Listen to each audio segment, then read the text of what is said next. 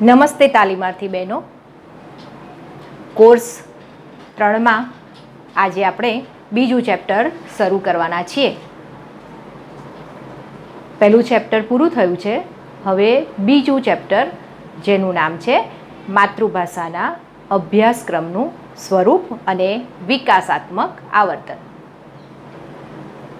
સૌથી પહેલો મુદ્દો જોઈશું આપણે. માતૃભાષાના અભ્યાસક્રમનું સ્વરૂપ. માતૃભાષાના અભ્યાસક્રમનું સ્વરૂપ જોતાં પહેલાં આપણને માતૃભાષા શું છે તો ખ્યાલ છે જ. પ્રથમ વર્ષમાં તમે શીખી ગયા છો. માતાના ગર્ભમાંથી બાળકને જે ભાષા મળે છે એને આપણે માતૃભાષા કહીએ છીએ. આ માતૃભાષાના અભ્યાસક્રમને બાળક ધોરણ એકથી પાંચમાં ભણતું આવ્યું છે. જેને પણ તમે જોઈ ગયા છો. પણ ત્યારે આપણને એવી ખબર પડે છે કે એકથી પાંચ ધોરણમાં માતૃભાષા શીખતા શીખતા હવે એ છથી આઠ ધોરણમાં આવવાનું છે. એટલે કે આ જે માતૃભાષાનું સ્વરૂપ છે, એનો ક્રમિક વિકાસ થતો જાય છે.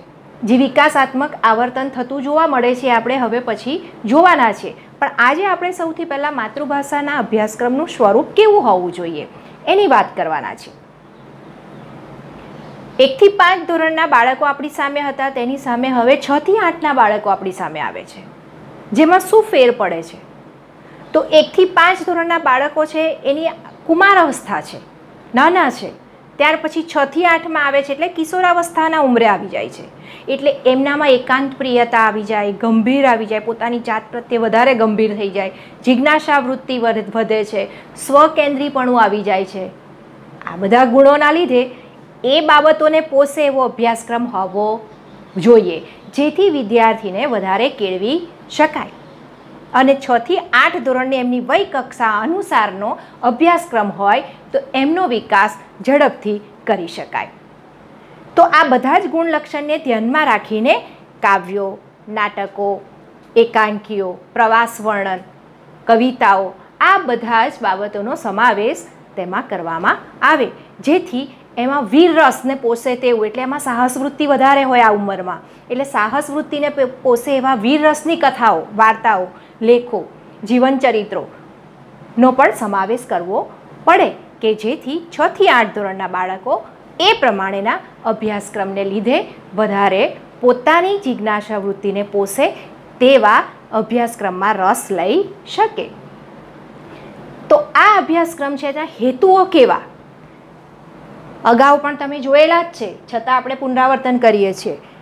હેતુઓનું વિકાસાત્મક આવર્તન, પણ હેતુઓ કયા? અર્થગ્રહણ, અભિવ્યક્તિ અને પ્રત્યાયન, સર્જનાત્મકતા, વ્યવહારિક ઉપયોજન અને તાર્કિક ચિંતન. આ બધાને એક પછી એક જોતા જઈએ. આ હેતુમાં સૌથી પહેલો હેતુ છે અર્થગ્રહણ. અર્થગ્રહણ એટલે શું? અર્થગ્રહણ એટલે જે પાઠ, લેખ ચિંતન, વાર્તા આપ્યું છે, તેને વિદ્યાર્થી વાંચે. વાંચતાની સાથે જ એને જે અર્થ સમજાય છે, એને અર્થગ્રહણ કહેવાય. અક્ષર જ્ઞાન છે બાળકને, એટલે અક્ષર જ્ઞાનની સાથે સાથે જ એનામાં એક સમજણ છે, એ સમજને અર્થગ્રહણ કહેવાય. વાંચ્યું, સાંભળ્યું અને તરત જ એના વિશેનું મનન ચિંતન કરીને એને સમજણ પડી ગઈ. આ જે સમજણ શબ્દ છે, એને કહેવાય અર્થગ્રહણ. તો પહેલો હેતુ છે અર્થગ્રહણ એટલે સમજ પડવી. વિદ્યાર્થીઓનો, વિદ્યાર્થીને પાઠ, લેખ, કાવ્યોમાં સમજ પડવી. જે વાંચીએ તે સમજે તે અર્થગ્રહણ. હવે આગળ વધીએ. અભિવ્યક્તિ અને પ્રત્યાયન. અભિવ્યક્તિ અને પ્રત્યાયન એટલે શું? અર્થગ્રહણ થયો? અર્થગ્રહણ થયું એટલે કે સમજણ પડી બાળકને. સમજણ પડે એટલે તરત જ એની અભિવ્યક્તિ કરતાં એને આવડવું જોઈએ. અભિવ્યક્તિ એટલે લેખિત કે સાંકેતિક કોઈ પણ નિર્દેશો દ્વારા એ પોતે વ્યક્ત થવો જોઈએ. બોલતા આવડવું જોઈએ. તમે પ્રશ્ન પૂછો અને વિદ્યાર્થી એનો જવાબ આપે. એ અભિવ્યક્તિ પોતાના શબ્દમાં એને મઠારીને બોલે છે. એ અભિવ્યક્તિ થઈ. અને એને આ પ્લેની પ્રથા એટલે કે આપણે પ્રશ્ન પૂછ્યો શિક્ષકે, વિદ્યાર્થીએ જવાબ આપ્યો. આ આપ લેની પ્રક્રિયા થઈ એટલે પ્રત્યાયન થયું કહેવાય. આદાન પ્રદાન. આપણે શીખવ્યું, એને સમજ પડી. સમજ પડી એટલે એણે અભિવ્યક્તિ કરી. અભિવ્યક્તિ કરી એટલે બોલતા થયો. અને બોલતા થયો એટલે શિક્ષક અને વિદ્યાર્થી વચ્ચે જે આપ લેની પ્રક્રિયા થઈ એટલે પ્રત્યાયન થયું કહેવાય. ત્યાર પછીનો મુદ્દો. હેતુ છે સર્જનાત્મકતા. સર્જનાત્મકતા એટલે સર્જન કરવાની શક્તિ. જો પહેલો હેતુ કયો હતો? અર્થગ્રહણ. બાળકને સમજ પડવી. સમજ પડે એટલે બીજો હેતુ આવ્યો અભિવ્યક્તિ કરતાં આવડવું જોઈએ. એટલે કે બોલતા આવડવું જોઈએ. રજૂઆત કરતાં આવડવું જોઈએ. તરત જ ત્રીજો હેતુ આવે સર્જનાત્મકતા. એટલે શું? સર્જન કરવાની ક્ષમતા. કંઈક નવું સર્જવાની ક્ષમતા.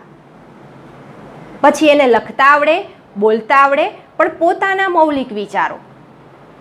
કાવ્ય છે, પાઠ છે, લેખન છે, લેખ છે, જીવનચરિત્ર છે, અહેવાલ છે, અરજી છે, આ બધી સર્જનાત્મકતા છે.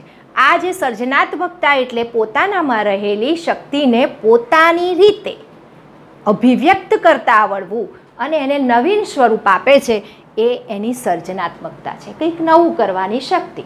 એ સર્જનાત્મકતાનો હેતુ સિદ્ધ કરવાનો હોય છે. ત્યાર પછીનો હેતુ વ્યવહારિક ઉપયોજન. ભણ્યા પણ ગણ્યા નહીં. એવું ના થવું જોઈએ. જે અભ્યાસક્રમ આપ મૂકેલો છે, અભ્યાસક્રમ શીખવીએ છીએ, એનો એને અર્થગ્રહણ કરતા આવડે છે ત્યારબાદ એને અભિવ્યક્ત થતાં આવડે છે. અભિવ્યક્ત થતાં એને સર્જનાત્મકતાની શક્તિ એનામાં વિકસે છે. એ સર્જનાત્મકતાની શક્તિ વિકસતા વિકસતા એને વ્યવહારિક ઉપયોજન આવડવું જોઈએ. એટલે કે વ્યવહારમાં ઉપયોગ કઈ રીતે થાય? મને જે શીખેલું છે, એનો વ્યવહારમાં ઉપયોગ કઈ રીતે થાય તે તેને આવડવું જોઈએ. દાખલા તરીકે, ગામમાં પ્રશ્નો છે, પાણીના નિકાલનો. અથવા એસટી બસ આવતી નથી ગામમાં.